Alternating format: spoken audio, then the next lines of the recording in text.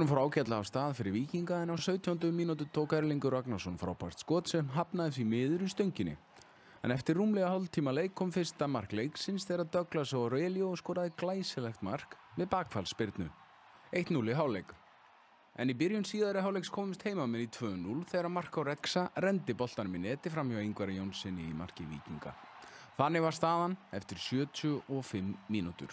Liðin mætast aftur eftir viku í vikinni.